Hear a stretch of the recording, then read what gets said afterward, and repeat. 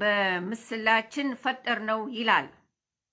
ጀውሃርም እንደ ነቢዩ ዩሱፍ አለይህ ሰላም አላህ አሳምሮ ፈጠረው። ከዛም ከእስራኤል ነቢዩ ዩሱፍን ከእስራኤል አንስቶ ግብፅን እንዲያስተዳድርም አምላክ አላህ ዋቃ ብርታት ሰጥቶታል ሰጥቶት ነበር። ጀውሃርም ከኦሮሚያ አልፎ ኢትዮጵያንም ያስተዳድራል።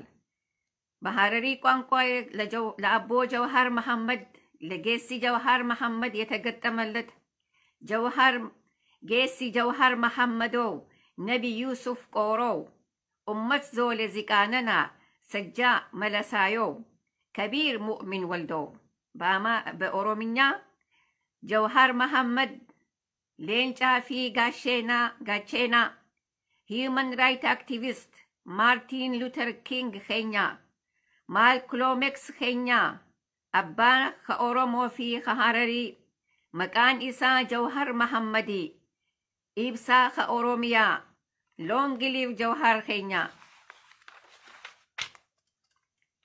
የሐረር ህዝብ ከኦሮሞ ወንድሞቹ ጋር በመቆም ኒዮ ነፍጠኛን በመገርሰስ confederalist ኢትዮጵያን ለመገንባት ይታገላል።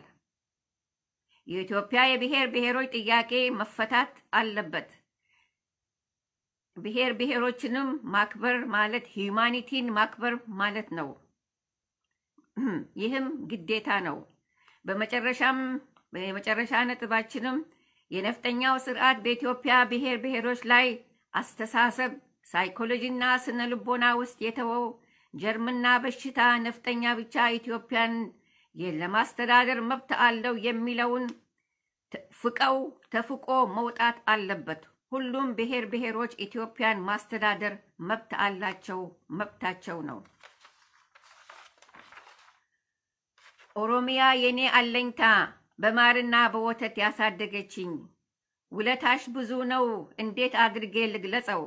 እናቴ ሀገሬ ኦሮሚያ ኑሪ ለዘላለም አዮቶ ኦሮሚያ ብየቶ ኦሮሚያ ሎንግ ሊቭ ኦሮሚያ ከበጀሞታ ደገይፈቶ ተኬኛ ገለቱማ ዝጤነብ ኩሌም አላሁ መገን ስላዳመጣችሁኝ አመሰግናለሁ።